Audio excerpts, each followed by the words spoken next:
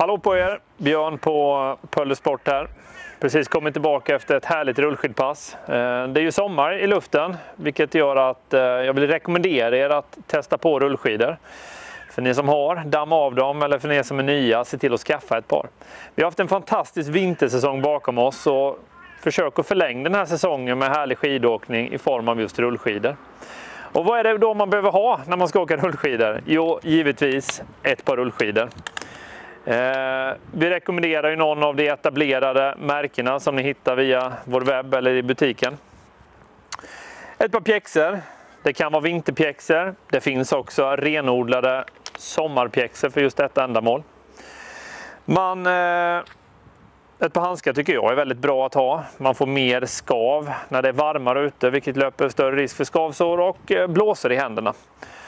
Stavar fantastiskt bra att ha när man åker. Eh, någonting som skiljer sig mot vintern är ju rullholken. Det innebär en eh, bra hårdmetallspets och en kraftig plast som klarar den här kraftiga påfrestningen som blir i asfalten. Då.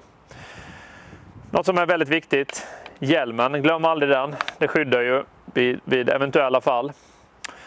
Glasögon, tycker jag är oerhört bra vid just rullskidåkning. Eh, dels så skyddar det ju mot insekter som kan komma flygande när man fått upp lite fart. Men även om man åker rullskid i en grupp så, så kan ju stavspetsar vara nära eh, ögon och, och, det skyddar ju väldigt, väldigt bra. Då.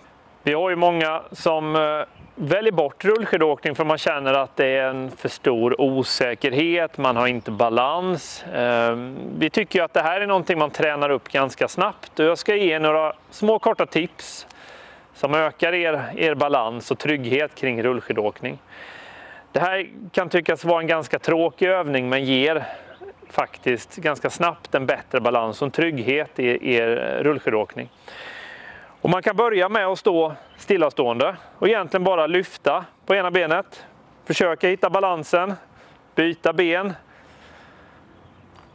skifta fram och tillbaka. Det lär hela tiden att känna efter vad är skidan, vad är dess begränsningar, vad är era begränsningar? Det här går också att tillämpa under lite hastighet som jag ska visa nu.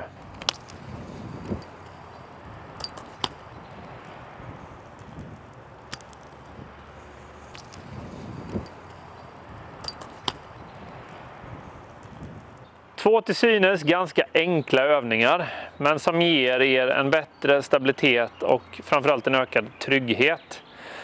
Håll utkik efter fler filmer, det kommer inom kort. Där vi kommer gå igenom det mesta inom rullskidåkning. Lycka till framöver!